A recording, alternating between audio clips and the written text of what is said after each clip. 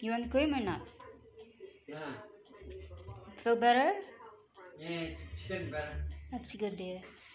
When the guy better. Justice doesn't only apply to adults, Judge. We also had a fair share of teens. Support. Um, a couple pictures of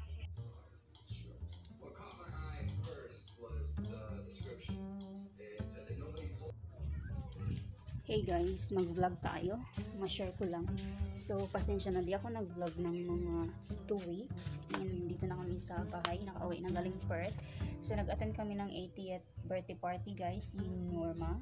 Si Nanay Norma. Yung tawag ko is Nanay. Kasi parang grandma ko siya. Tapos, friend siya ng ah, I mean, mama siya ng friend ng ah, husband ko. So, ayun. Si Mr. Day okay. Nagka-stick siya guys. Tapos, nagpahinga muna kami. And so, mga 2 weeks di, nga ako nag-upload ng video. At saka hindi na rin ako nag-post sa Facebook, Facebook. Minsan na lang. Kasi may naasikaso din ako guys. Nag-aral ako sa TAFE.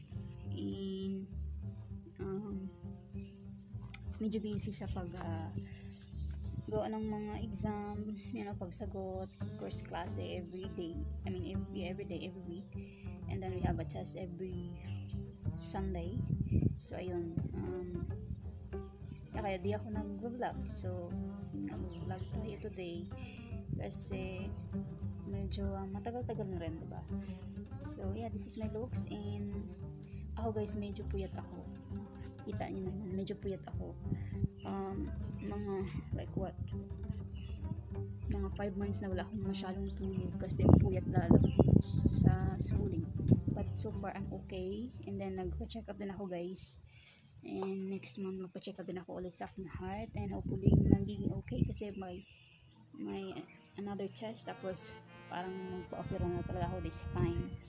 So, yeah. So, ayun lang guys, ang aking na-share today. And si Mr. Tulog.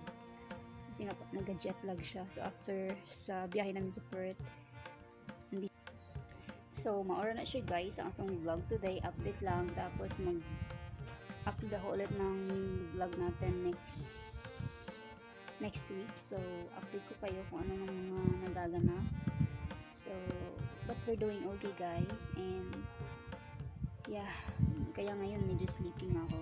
So, I'm planning to drink a